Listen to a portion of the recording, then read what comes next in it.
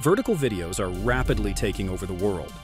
Brands are increasingly demanding this type of content, but shooting on smartphones creates challenges for CG work. Even experienced VFX artists encounter problems. This video will be useful for producers, cinematographers, match move, and CG artists. We'll break down the mistakes that lead to missed deadlines, sleepless nights, stress, and increased post-production budgets. Let's get started. The number of urgent requests to rescue projects has grown significantly. The main issue you're likely to face is tracking. Either the camera cannot be solved or it's impossible to accurately recreate the scene geometry for adding CG, or the geometry simply doesn't match. So what can you do about it? Let's go through it step by step. The inability to achieve proper 3D camera tracking and accurately fit geometry into the scene is often caused by smartphones using warp stabilization. This technology analyzes motion in different parts of the frame and locally distorts the image to compensate for camera shake. In simple terms, when you shoot video on a smartphone with default settings, then every frame containing deformations that don't follow the math of optics. The inability to recreate accurate scene geometry is also linked to the absence of parallax, that shift in objects when the camera changes position, which is what creates a sense of depth in the scene. To avoid these issues, we recommend not relying on the default video recording app. Instead, use specialized third-party apps that allow full manual control over your shooting settings. Let's look at the setup using the Blackmagic Camera app. General App Settings Resolution 4K. Maximum is better. Color space Rec 2020. HDR for an extended dynamic range. For iPhone Pro models starting from the 15th version, set Apple log. Codec ProRes 422.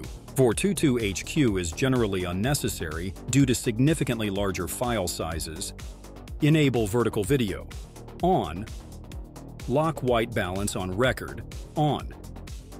Lens correction, off. This setting is crucial for 3D tracking. Shooting settings.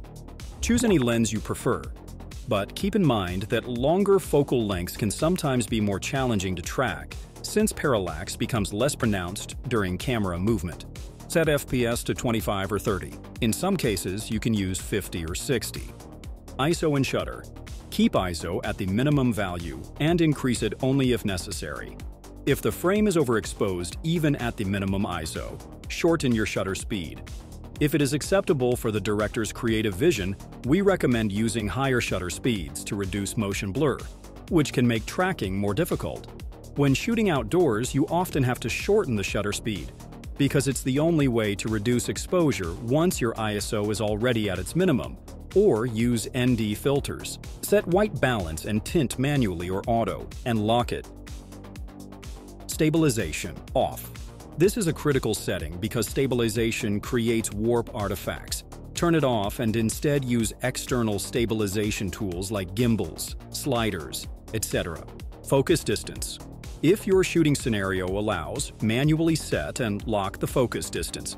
This is the ideal solution because changing focus distance also changes focal length and distortion, making tracking more complicated. Shooting principles. Camera movement. Good tracking requires parallax. That means the camera needs to move through space while filming. Rotation alone is not the same as movement. If the director's vision doesn't include camera movement, we recommend starting the recording, performing a movement pass that creates parallax and then, without stopping the recording, shooting the main shot.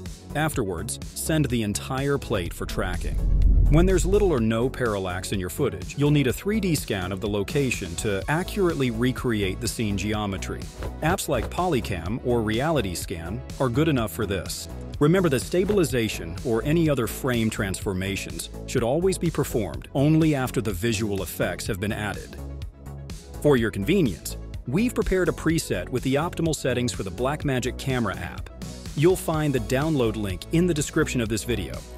Share this info with your colleagues and have a billions of views on your own videos.